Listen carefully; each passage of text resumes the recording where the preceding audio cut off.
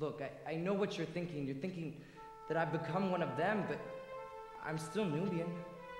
I'll always be Nubian. Of course.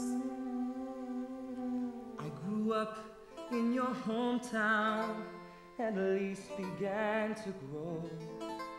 I hadn't got my first shave before the body blows.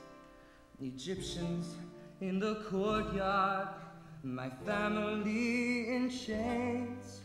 You witnessed our abduction, which possibly explains how I know you, how I know you. Before that fateful morning, my family enjoyed a privileged existence, for my father was advisor to the king, no less.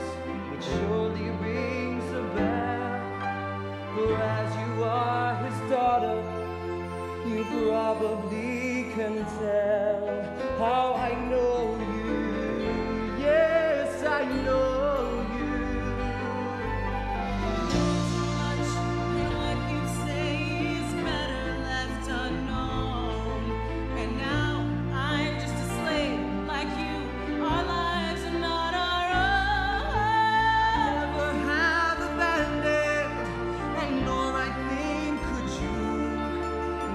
spark of hope for freedom, no terror can subdue. My only hope is silence.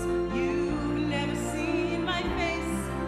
No, you remain a princess in any time or.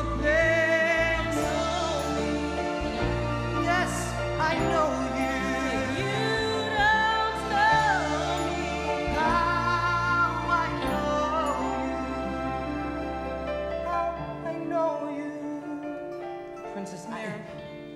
you must treat me like any other slave.